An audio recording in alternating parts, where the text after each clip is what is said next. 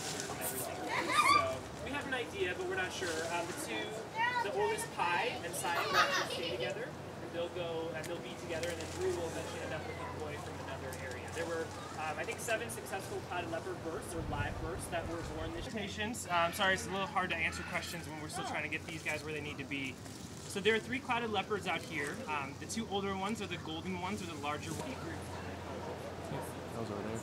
They make recommendations, we were they can ask us to not have offspring, and that's our job to kind of decide how we do. it.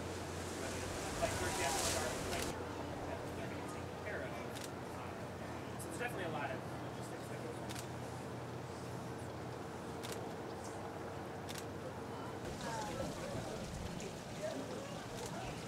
I didn't give any actual questions.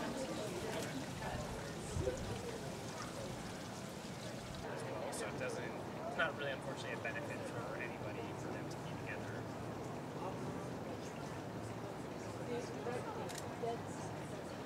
Yeah. They're moving through the trees. Oh, look at this.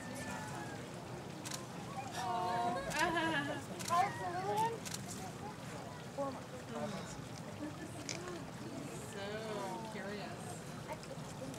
Um, we started to notice changes in mom. So. Well, 'cause you just got this, you know, exhibit not too long ago. Yeah, it's been open for about two and a half Two years, years, and yeah. their parents have been here for almost three. They moved in a little bit earlier than when it opened, so it's not as exciting. Yeah. Virginia, it's uh, it's associated with the National Zoo. They have like a, a, a center in Virginia.